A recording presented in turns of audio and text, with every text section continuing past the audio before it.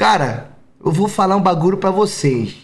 A PRF foi buscar nós na frente do avião pousando. Não é mentira, não é meme, não é fique. Não é fique, não é. A gente pousou, o avião travou. Senhor Yuri Cabral, Maurício Martins, Luan Souza, comparecer à frente da aeronave. Marco lá atrás, já rindo pra caralho. rindo pra porra. Lá vai eu. Eu, Cabrito. Cabrito já aqui, ó. Ô fiado, fodeu, fiado. O que que vai acontecer, Xon? Xon, Xon. O que que a gente fez agora? Aí o, o Babal. Agora pronto, ligaram de novo aqui, mano. Ligaram de novo. A federal. A, a PRF não, é PF. Foi mal. Foi, errei, né? Errei. Calma, calma. PF. PF. Polícia Federal. Aí. Aí. Os homens escoltou nós. Pum, dentro da delegacia do aeroporto. Primeira coisa, quando entrou lá, falei pro cara, caralho, eu conheço esse lugar. Ele, ué, você já teve aqui? Eu, não, pô, que eu assistia vocês primeiro geral na série aqui de Guarulhos. Ele, como assim? Ué, era aqui, pô, mais pra frente ali vocês pesam as cocaína. Tem as celas ali, pai. O cara, oxi, que negócio é esse? Aí já, no desenrolo, né, virando amigo dos parceiros. Ô, conheço aqui esse corredor, tal, não sei o quê. Aí, calma, ele me deu a. Juro por Deus, ele me deu a cara. Me deu a tour das celas, mostrou aonde vê, aonde os caras fazem os testes e tal, da PF. E aí ele falou pra gente, falou, ó, alguém fez uma denúncia que vocês estavam com uma arma branca. A gente precisa que vocês de, façam um depoimento. A gente assistiu todas as últimas lives e a gente rezava para toda vez que você tava bebendo uma cachaça, algum de vocês soltasse que foi vocês que ligou para a polícia, pois é falsa denúncia. Entendeu? Olha, olha esse bagulho. Os caras assistiu nós, faz, desde que a gente viajou, eles andam assistindo todas as lives, investigando. YouTube, Instagram, tudo, tudo, tudo, tudo, tudo. Ele sabia de tudo que aconteceu na viagem. Tudo, tudo, tudo. Tinha uma pessoa, mano, investigando. Real, real, pra vocês entenderem o nível que o chat passou o limite. Eu tô só explicando isso aqui pra, mano, vocês não fazerem isso. Por quê? O cara que ligou, ele fez um crime que é de seis meses a dois anos de cadeia. Entendeu? Seis meses a dois anos de cadeia por ligar e fazer uma denúncia falsa a uma autoridade. O foda é que a gente não tava fazendo nada. Vocês tiraram o foco da polícia pra nós. Enquanto isso, podiam estar tá resolvendo algum BO de outra aeronave, prendendo alguém por alguma coisa de droga, o caralho. Então, mano, isso é vacilo. Isso é vacilo. Quem ligou, ligou, eu acho, do número normal. Os caras estão atrás. Vai dar merda. Não tô falando pra vocês, eu não tô mentindo pra vocês. Os caras pegou print do chat quem falou que foi. Tô falando na moral. Tipo, nick da Twitch, eles têm uns 20, 30 nick de Twitch. Print falando, fui eu, foi um monte de gente falando. Eles estão cheio de print, cuzão. Porque essa parada foi tipo, travou o aeroporto, vocês me entendem?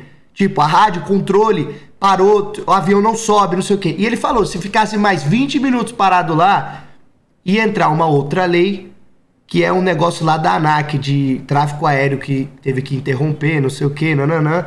Que aí a prisão já ia de 3 anos a 7 anos. E aí, meu amigo, o buraco é mais embaixo, porque mexe, mexe com a ANAC, bagulho de aviação, fora... Aí já ia entrar duas coisas, né? Duas coisas. O que eu digo para vocês é que eu digo para vocês é: não brinca com essas paradas, mano. Tipo, o que a gente fez, eu falei pra ele, eu falei, pô, botei um consolo junto com uma água dentro da mochila pra brincar ali no raio-x. Ele falou, cara, ok, só que não pode, né? Não pode ter um trote ou uma pessoa ligando falando, ah, que vocês estão armados dentro do voo. Tipo, isso aí ferrou, entendeu? Então o que eu quero dizer para vocês é, mano, não brinca com essa parada. Nós ficou 3, 4 horas depondo porque alguém, alguém falou que a gente estava com uma arma branca, tá ligado? Alguém falou que a gente estava tava com, com uma, uma arma branca, eles viram toda a live inteira, falou, viu tudo que aconteceu, tá ligado? E é isso, chat. O que eu, o que eu tô dizendo é, os caras passou dos limites. Se continuar essa putaria, a gente não consegue mais fazer live em aeroporto Tá ligado? Eu vou ter que sempre chegar neles falar, ó, tô. Realmente eu peguei o número dos caras, eu falei, quando eu tiver em live alguma coisa, eu mando pra você. Eu peguei o número do delegado. Vou avisar que tô ao vivo, se chegar alguma denúncia, não sei o quê. Cara, é, sou eu que tô ao vivo aqui entrando. Pode ser coisa falsa e já pega o cara. Entendeu? Não é mentira, mano. Não é mentira. Tive que assinar papel. É, um, a gente depo... Mano, foi duas, três horas depondo, mano. Juro, juro, juro. E no meio do negócio, o Mal Mal tava grilado querendo fumar. Vocês acreditam que ele chamou os polícia pra ir fumar um cigarrinho? Ô, meu aliado. Alguém aí quer ir fumar? Eu quero fumar, tu não tô aguentando mais de 12 horas no aeroporto. Foi ele, os caras, fumarzinho, um cigarro lá fora. Os caras os cara super gente boa, não minto pra vocês, trataram a gente muito bem, né? Viram que a gente não fez nada da maldade. O maior, maior carinho mesmo da, da, da federal lá do, do aeroporto. E é isso, chat. É, o que eu digo é: brincadeira não tem graça, tem limites, sabe? E é isso. Foi hoje, hoje, quando a gente chegou. Ficou duas, três horas lá. Marco nervoso. Cabrito, não fala nada. Mano, o Cabrito. O Cabrito é a pior pessoa do mundo. A gente parado dentro do negócio lá, tipo, escrivão escrevendo, delegado parado tal. Um bagulho sério. Antes da gente virar amigo dos caras, né? Uma parada séria. Cabrito mandando mensagem pro pai dele. Tô na delegacia, mas tá tudo ok. Do nada, o, o delegado pra mim, ô, oh, tem alguém nervoso esperando vocês ali fora, não sei o que, avisa que tá tudo de boa, tal. Aí o cabrito, tá tudo de boa, só que vai demorar três horas, pai. E o cabrito, explica pro seu pai que a gente tá depondo, tal, a gente só vai falar o que aconteceu, não deu nada de errado. Aí, ele, aí o pai dele, Ei, mas tá tudo certo, não sei o que, ele, tá tudo de boa, tá tran... e, e ele deve falado assim, ó, tá tudo de boa, fiado, tá tranquilo. O Sean tá ali falando com a polícia. Tá mostrando aqui, ó, a cheira. Agora tem o cachorro aqui cheirando nossa amara. O pai dele deve ter achado que nós trouxe da Colômbia uma cocaína, né? Só pode. Porque a gente tava três horas lá depondo. Cachorro pra tudo qualquer lado tirando essas malas. Era pastor alemão pra lá, pastor alemão pra cá. O Marco tava lá fora e ele viu o pai do Cabrito andando pro lado e pro outro, nervoso. O pai do Cabrito ficou tão nervoso porque o Cabrito não falava o que tava acontecendo que o polícia saiu, buscou o pai do Cabrito, levou lá dentro e mostrou que ele tava sentado lá esperando para depor. Aí chegou lá, seu Cabral, ele não me explica, não fala nada, não sei o quê. Aí o Cabrito assim, Ô, fiado, eu falei que tá de boa, fiado. Tô aqui tranquilo aqui, ó. Tá tranquilo, ó. Mamão tará, tá falando com o polícia, chão tá aqui.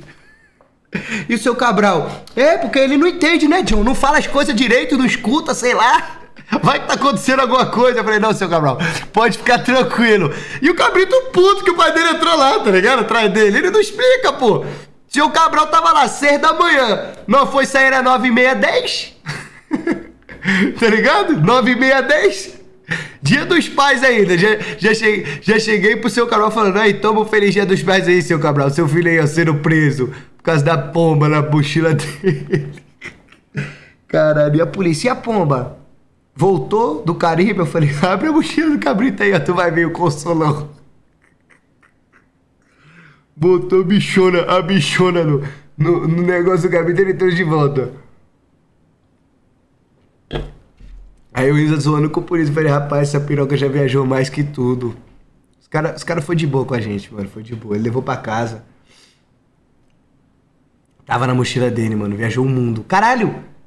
Aquela piroca já viajou o mundo. São Paulo, Colômbia, Curaçao. Ela vai pro Japão depois. Pra Dubai. Cara, tem mais planos aí. E tem mais planos. Cusão. Não, a gente podia pegar, sabe o quê?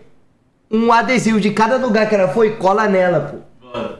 Sério, pega um da Colômbia, todo país que ela pisar, a gente coloca uma bandeirinha. Deixa colado nela, tá ligado? e depois a gente leiloa no OLX e doa pra alguma caridade de dinheiro. Tem que fazer um passaporte pra essa pomba. John, você vai no aniversário da Grace sexta. Pô, não tô sabendo disso não. Sabendo não.